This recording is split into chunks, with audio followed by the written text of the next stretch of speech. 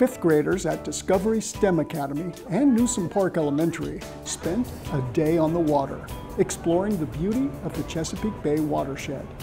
Thanks to a grant from Virginia's Department of Conservation and Recreation, Newport News Public Schools STEM Department partnered with the Chesapeake Bay Foundation to expand the learning experiences through the STEM Magnet programs at DSA and Newsome Park.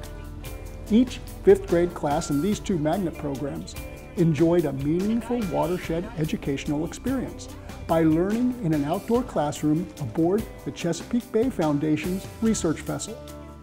While on the water, students learned firsthand about the importance of protecting the Chesapeake Bay watershed by testing the water quality, exploring habitats, and investigating some of the abundant sea life, all while overlooking historical locations that have significant ties to the river.